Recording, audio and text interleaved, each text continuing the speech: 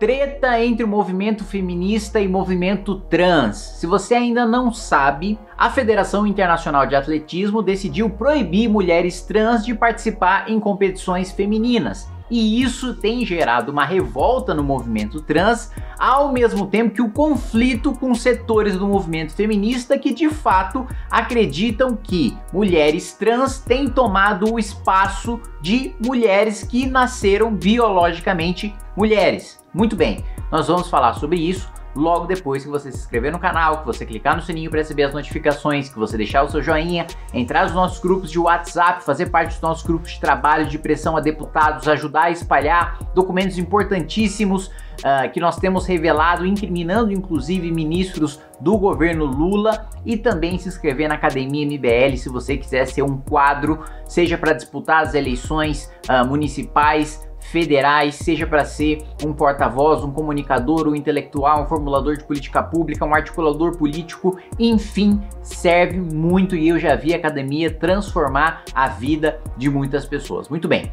Vamos falar então sobre a crítica de Tiffany Abreu, a primeira transexual a disputar uma partida na Superliga de Vôlei do Brasil. Ela criticou, claro, a decisão da Federação Internacional de Atletismo de proibir mulheres transgênero de participar de provas internacionais nas categorias femininas, né? Ela disse o seguinte: "Isso se chama exclusão de mulheres. O homem pode tudo. Estão nos impedindo de ter o nosso direito, nosso espaço. Repudio essa nova regra da Federação Internacional de Atletismo e espero que vocês revejam toda essa regra. Vamos lutar sempre. Só que o fato é que essa decisão tomada pela Federação Internacional de Atletismo tem como base três coisas muito simples: ciência, bom senso e biologia.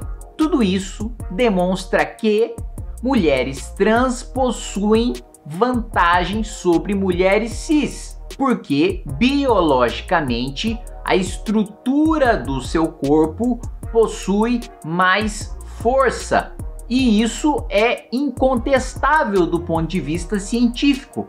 É fato que o sujeito que nasce biologicamente homem possui, ele já nasce com uma, não precisa nem passar pela puberdade, ele já nasce com uma estrutura corporal diferente da da mulher. Isso é fato. Se passa pela puberdade, então, né, a, a explosão de testosterona faz com que essa diferença aumente ainda mais.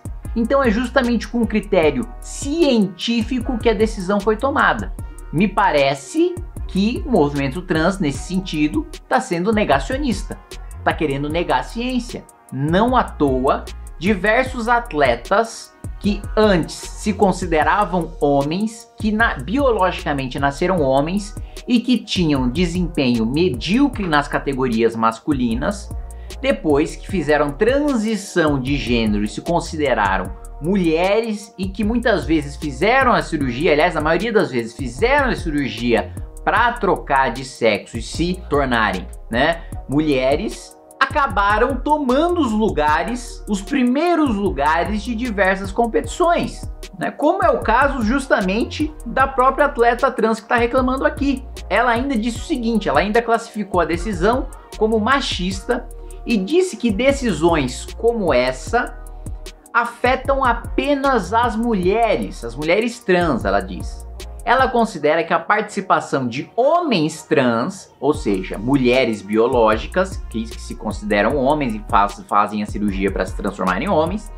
em categorias masculinas não gera a mesma repercussão. Mas isso é óbvio que não gera a mesma repercussão. Não gera a mesma repercussão porque a mulher trans porque a verdade. Eu me perdi aqui, desculpe. Pessoa que nasce mulher e faz a transição para se tornar, para se considerar homem e vai disputar um, um, um, com homens bio que nasceram homens, biologicamente homens, não possuem vantagem em relação a eles. Ao contrário, estão em desvantagem. E justamente por isso não chamam a atenção. É, eu sou liberal. Eu acho que o sujeito tá lá quer fazer cirurgia para trocar de sexo, né, não sendo né, uma criança de 4, 5, 6 anos de idade, né, que sem laudo psiquiátrico, sem passar por todo um processo para de fato né, se evidenciar que aquela pessoa faz parte da exceção da exceção, que quando passa pela puberdade ainda não se considera do seu sexo biológico, e aí sim faz sentido trocar de sexo, né? Desde que, né, não seja, né, como tem acontecido infelizmente, né, por criança de 4, 5, 6 anos já passando por tratamento hormonal, às vezes até sem laudo, né, psicológico, psiquiátrico para saber se de fato aquela pessoa, na estrutura da mente dela, ela de fato se considera de outro sexo. Tirando esses casos, acho que qualquer pessoa adulta, né, pode fazer cirurgia de troca de sexo ou fazer qualquer tipo de cirurgia. O que bem entender com seu corpo, o seu corpo, as suas regras. Agora, querer impor a participação de mulheres trans em competição com mulheres biológicas, sendo que há uma vantagem competitiva, isso de fato não faz sentido nenhum. Isso é fazer com que as mulheres percam espaço, as mulheres biologicamente, né, que nasceram biologicamente mulheres, percam espaço no esporte. E eu trago aqui um exemplo concreto. A campeã nacional de ciclocross dos Estados Unidos, a Hannah Arisman, desistiu da sua carreira, campeã nacional, depois de perder um dos torneios mais importantes da categoria feminina para Tiffany Thomas, que é uma atleta trans.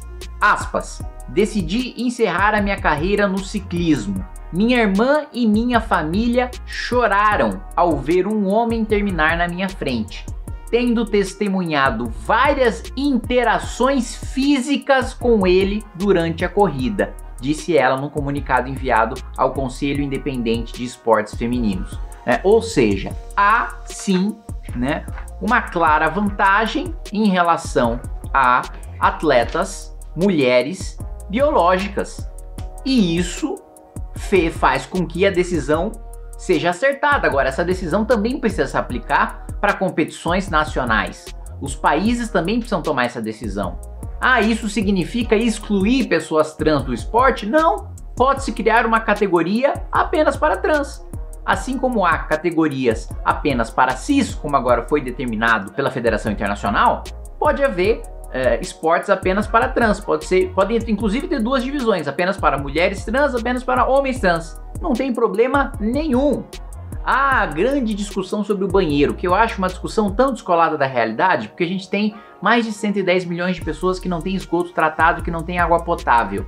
Né? Muita gente que não tem banheiro. Né? E a gente aqui discutindo uma bolha de elite de classe média alta discutindo banheiro trans quando a maioria da população sequer tem banheiro. Mas se esse é um problema, pô, então cria um banheiro de gênero neutro, né? Porque cria um banheiro que, que qualquer um, um banheiro unissex, um banheiro qualquer um possa usar, deixa o banheiro masculino e feminino que já existe e deixa esse terceiro banheiro aí para quem quiser usar. Né? Mais um exemplo né, de mulheres trans tomando o espaço de mulheres cis, que tem incomodado inclusive setores do movimento feminista.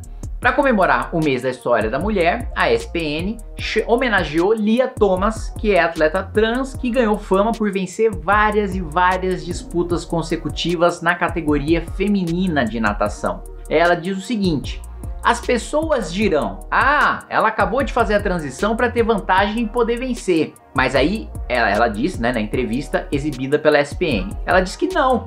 Eu não fiz para poder vencer. Eu fiz a transição para ser feliz. E eu respeito isso. Você fez a transição, se a transição te faz feliz e você quer fazer essa transição, né, para você mudar de gênero, mudar de sexo, não tem problema nenhum.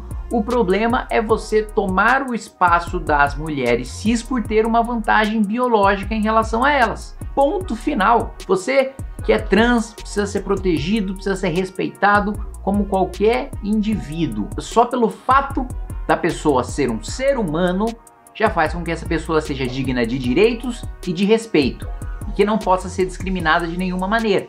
Agora, exigir, fazer essa patrulha, né, de que tudo é machismo, tudo é transfobia, a exemplo do que aconteceu com a autora de Harry Potter, a J.K. Rowling. Teve uma matéria da BBC que, salvo engano, tava lá pessoas que menstruam. E aí a J.K. Rowling disse: Bom, na minha terra isso tem nome, chama-se mulher, né? Que é uma pessoa que menstrua. E aí ela foi chamada de transfóbica por causa disso. Né? Ela foi excluída de uma reunião sobre uma nova produção do Harry Potter por ter feito essa afirmação.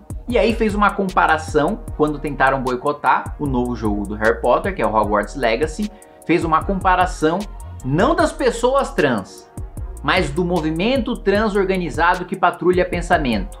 Diz que essas pessoas são comparáveis aos comensais da morte. Se você assistiu Harry Potter, você sabe bem do que eu tô falando. E para terminar o vídeo com um exemplo positivo, nós temos uma pessoa que ninguém fala sobre ela, né? E é importante espalhar o vídeo por causa disso. Anne Veriato é uma mulher trans, amazonense, que mesmo depois de se declarar trans, continuou lutando contra homens e entrou para a história em 2020, sendo a primeira mulher trans a vencer uma luta contra o homem cis. E aí perguntaram para ela, por que, que você não disputa o campeonato de mulheres? Ela falou, bom, simplesmente porque eu não acharia justo, né? Porque eu sei que biologicamente né, eu tenho uma vantagem em relação àquelas que nasceram mulheres e por isso eu luto contra homens e defendo inclusive que a única, né, a única distinção nas competições seja a, o sexo biológico. Alguém vai falar sobre ela? O movimento trans vai falar sobre ela? As esquerdas vão falar sobre ela? Não, porque aí a opinião dela não vale. Aí ela não tem lugar de fala. Por que não tem lugar de fala? Porque não concorda com eles. Enfim, essa é a discussão. Quero saber sua opinião aí nos comentários.